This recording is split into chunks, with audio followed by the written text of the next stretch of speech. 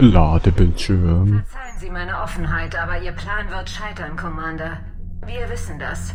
Wir haben es schon erlebt. Aber werte Ratsherrin, lassen Sie mich... Nicht nur ich sehe das so. Die salarianische Dallatras ist außer sich. Einige dieser Konflikte sind uralt. Höchste Zeit damit abzuschließen. Mag sein, dennoch vergeuden Sie mit diesem Gipfel Ihre Zeit. Und davon haben wir zu wenig, um damit auch unsere zu vergeuden. Wir müssen uns auf die Ankunft der Reaper konzentrieren.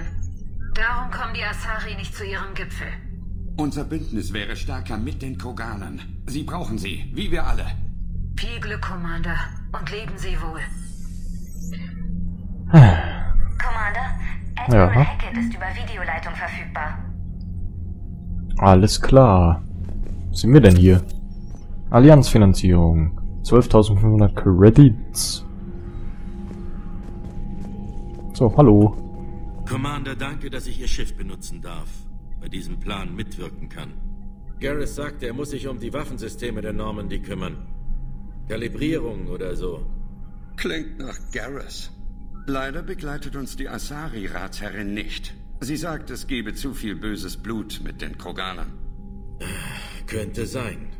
Aber es gibt viel mehr Blut. Echtes Blut. Wenn wir es nicht versuchen. Wenn Sie das so sagen. Je früher der Gipfel, desto früher wissen wir Bescheid. Kann ich Ihnen sonst noch irgendwie helfen? Nö.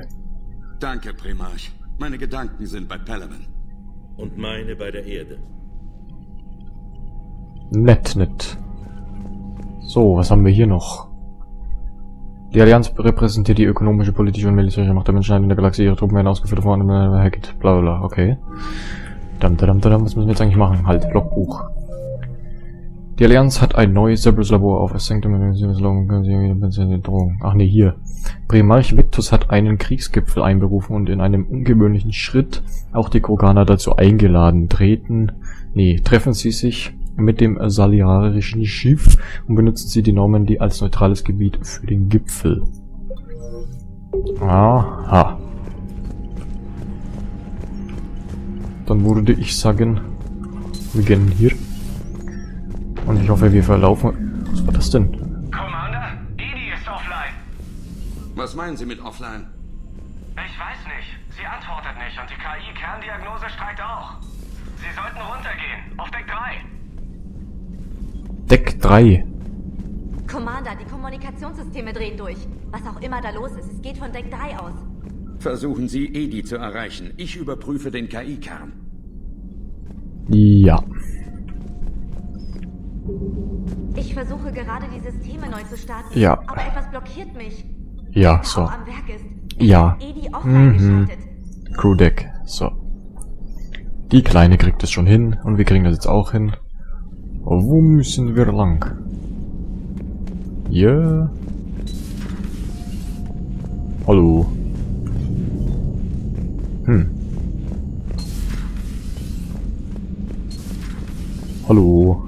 Keiner zu Hause? Okay. Kann ich mit leben. So, hier. Hallo. Auch keiner zu Hause? Okay. Wir sind hier auf Deck 3, ne? Hallo. Okay, Toilette. Okay. Das heißt, hier hinten. Ja, das sieht schon besser aus. Na? Alles im Lot. Liaras Büro. Oh.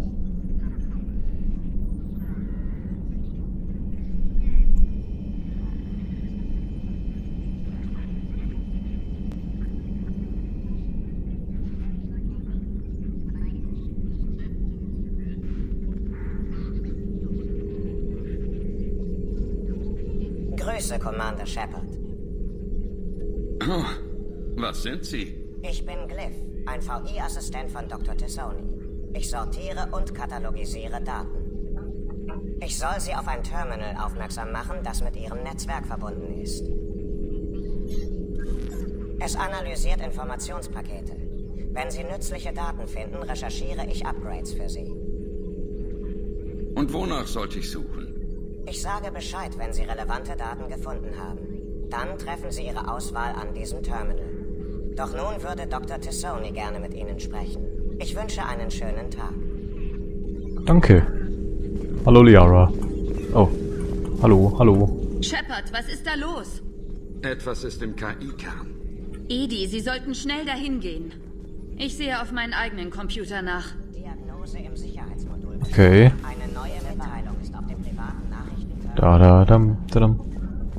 Hier noch jemand drin? Tatsache. Gehen wir mal da rein. Und gucken, ob sie was von uns wollen. Hallo. Ah? Die automatischen Systeme haben das Feuer eingedämmt. Es müsste jetzt sicher sein, reinzugehen. Wir folgen Ihnen. Alright. Joker, was ist das? Feuerlöscher, Commander. Vielleicht ein elektrisches Feuer oder so.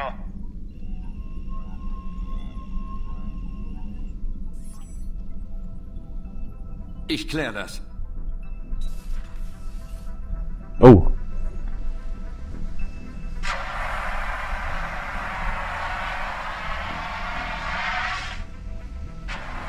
Edi, was ist denn?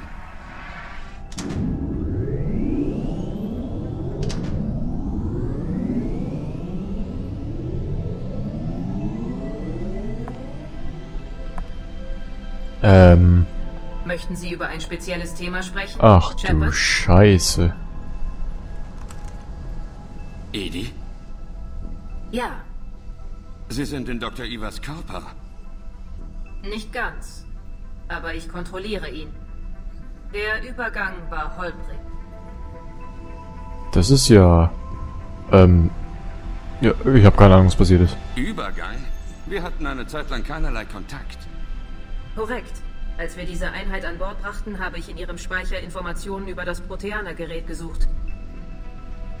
Dabei habe ich eine Falle ausgelöst. Notstrom und zusätzliche CPU wurden aktiviert und die Einheit wollte mich angreifen. Zum Glück erhielt ich Systemzugriff und konnte alles nach Bedarf umfunktionieren. Dabei kam es zum Stillstand. Daher das Feuer. Edi, Sie müssen uns bei solchen Vorfällen alarmieren und dürfen sie nicht alleine klären. Die Crew zu informieren wäre kontraproduktiv gewesen.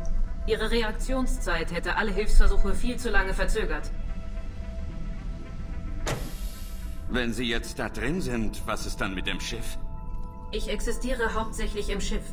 Zur Steuerung sollte diese Einheit in Funk- oder Tidebeam-Reichweite der Normandy bleiben. Wollen Sie mit diesem Körper irgendwo hin? Die Normandy ist nicht für jede Situation optimal bewaffnet. Diese Plattform könnte begrenzte Bodenunterstützung leisten. Sie meinen, Sie könnten also mit uns kommen? Ja, dieser Körper kann sie an Orte begleiten, die die Normandy nicht erreicht. Vorher müssen Sie garantieren, dass dieser Mac keine weiteren Überraschungen in sich trägt. Lassen Sie Tests laufen und dann reden wir über den Einsatz in Kampfsituationen. Moment. Tests laufen. Abgeschlossen. Ich kann Ihnen einen vollständigen Bericht senden. Zunächst jedoch stelle ich die Funktionalität der Normandy wieder her und versichere der Crew, dass alles normal ist. Aber wundern Sie sich nicht, wenn die Crew Sie skeptisch gibt. Ihr neuer Körper hat Sie vor kurzem noch beschossen. Völlig richtig. Ich gehe auf die Brücke. Joker wird es auch sehen wollen. Darin sind wir uns einig. Ja. So. Gibt es hier noch Bonuskräfte? Verstärkung kaufen. So.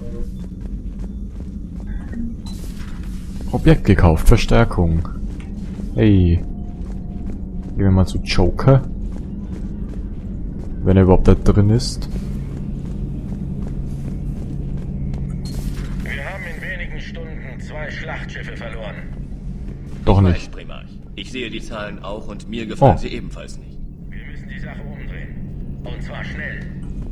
Nun, Sie können Shepard vertrauen, Sir. Wenn jemand die Kroganer zur Zusammenarbeit bewegen kann, dann er. Danke. Lasse mich darauf. Garrus, Sie haben also sofort mit der Arbeit begonnen. Nach den letzten Ereignissen ist das Kalibrieren eines Geschützes der reinste Urlaub. Und es lenkt mich ab. Wir brauchen Sie aber nicht nur fürs Zielen. Oh, ich bin bereit. Aber große Geschütze brauchen wir sicher auch. Jede Menge sogar. Die Ereignisse auf Palaven beweisen das. Ob es wirklich klug war, alles zurückzulassen?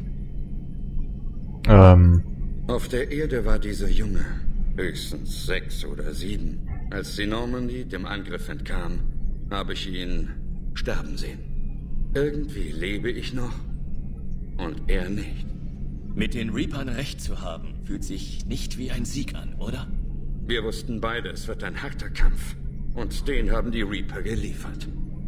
Meine Regierung hat wenigstens zugehört. Oder so getan. Ich habe eine Einsatztruppe bekommen, damit ich den Mund halte. Sie sind nun Experte und Berater. Sie waren dabei mein Vorbild, Shepard. Wenn man laut genug schreit, kommt irgendwann wer und fragt, was der Krach soll. Nicht, dass sie tatsächlich etwas dagegen tun. Und wollen dann, dass man ihn abstellt.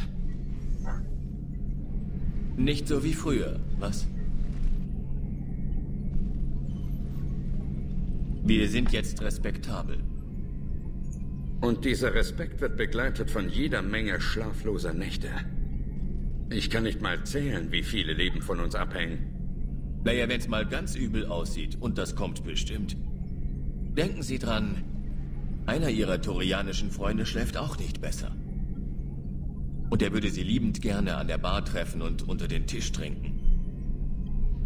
Wollen Sie noch über was anderes reden? Nö, nö. Das ist vorerst alles.